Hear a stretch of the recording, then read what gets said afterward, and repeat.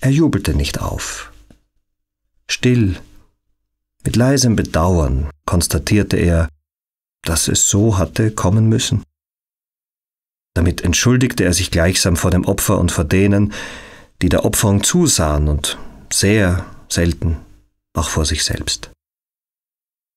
Diese Art des Siegens bedingte auch die Art des Angreifens. Kupfer kam nicht hinterrücks.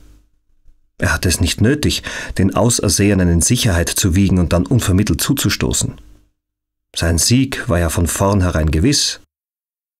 Er hütete sich auch sorgsam, allzu grobe Schliche anzuwenden, Dinge zu tun, an denen man ihm größere Unkorrektheit hätte nachweisen können, als ihm, dem nun einmal Mächtigeren, schweigend zugestanden werden musste.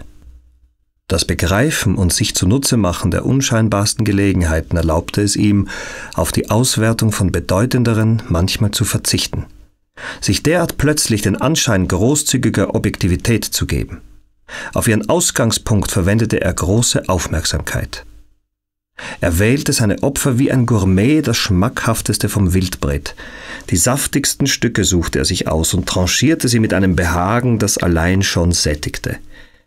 Ganz leistungsunfähige, ganz dumme verschluckte er als Beilage, nahm sie eben mit, weil sie just zur Hand waren. Das bot keine Anregung und beschäftigte ihn nicht sonderlich. Ihre schriftlichen Arbeiten wurden ohne Mühe mit nicht genügend klassifiziert, und um ganz sicher zu gehen, schoss er nach ihnen mit seinem gefürchteten Giftpfeil, den Bankfragen, die nicht beantwortet und nur dann als Prüfung galten.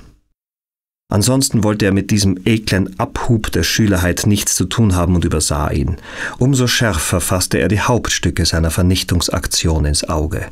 Schwächlinge, die vielleicht beim ersten Anhieb zusammengeknickt wären für immer, Hysteriker, die in einem plötzlichen Anfall irgendetwas Unberechenbares hätten tun können, von Natur aus desinteressierte Elefantenhäuter, die vermied er mit sicherem Instinkt.